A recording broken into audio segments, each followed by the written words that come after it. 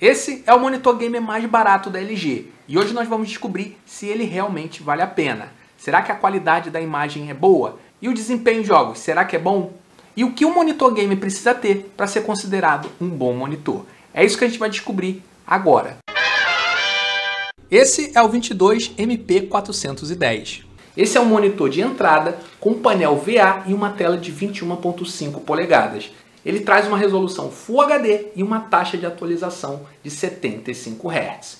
O painel VA, pessoal, em termos de desempenho, ele é um pouquinho mais lento, mas em compensação, ele traz uma boa qualidade de cor e um bom contraste, além de ter um preço um pouquinho mais acessível. Já sobre a frequência, para jogos competitivos, realmente 75 Hz é considerado pouco, mas para jogos mais casuais, essa taxa de atualização com certeza dá conta do recado, e é o que a gente vai ver no teste prático daqui a pouco.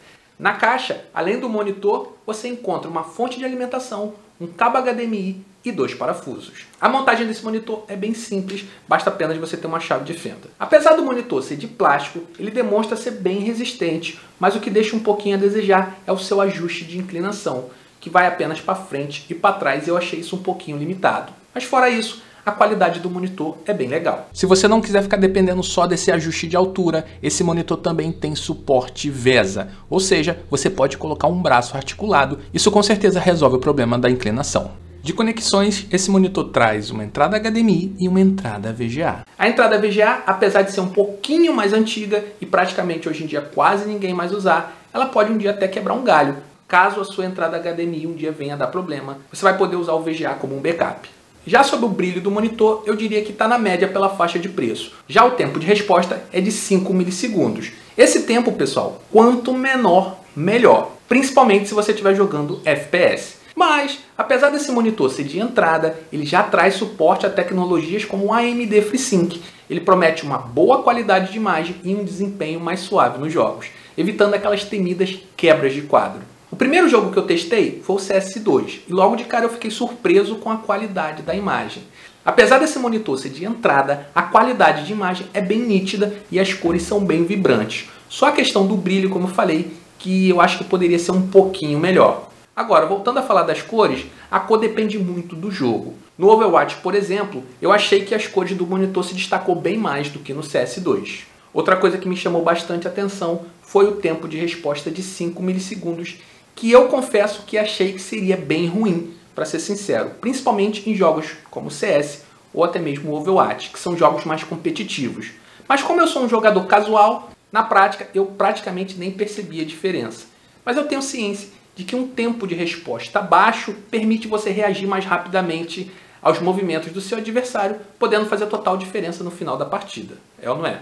Já sobre o tamanho da tela, eu achei ideal para jogos de tiro, onde você consegue ver com mais detalhes os movimentos e os objetos de maneira bem nítida.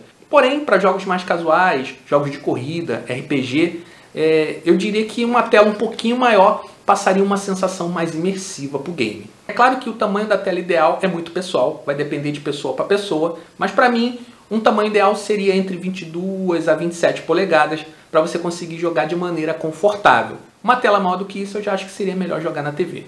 E o que você acha? Qual seria o tamanho de tela ideal para você? Agora, a pergunta que não quer calar. O que um monitor game precisa ter para ser considerado bom, um bom monitor?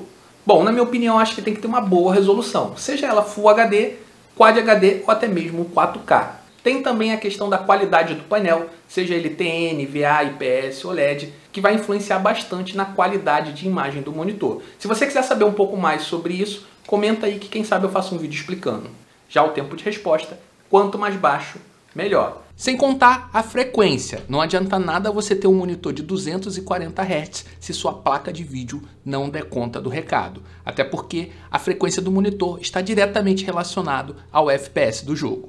E se o monitor puder trazer tecnologias de redução de tearing, como o G-Sync ou o próprio AMD Sync, isso com certeza vai ser muito bem-vindo. E claro, um preço bom. Agora, quanto mais funcionalidades um monitor game tem, mais caro ele é. Como esse é um monitor custo-benefício, é claro que as funcionalidades dele vão ser um pouquinho mais simples. Mas no final das contas eu posso dizer, pelos testes que eu fiz nesses jogos, ele deu conta do recado. Para quem eu recomendaria esse monitor? Se você está com um orçamento um pouquinho mais apertado, mas você quer um monitor para começar, eu diria que esse é um monitor que você pode levar em consideração. Ainda mais se você pegar ele ali na faixa de 500 reais. Em maio desse ano, ele chegou a custar 429 reais. Inclusive, eu vou até deixar o link aqui do site onde eu comprei para você consultar o preço ou até mesmo comprar um para você, caso você queira. Quem sabe você pega ele aí por um precinho bem camarada. Agora me diz aí, o que, que você achou desse monitor? Eu sou o Anderson e até o próximo vídeo. Tchau!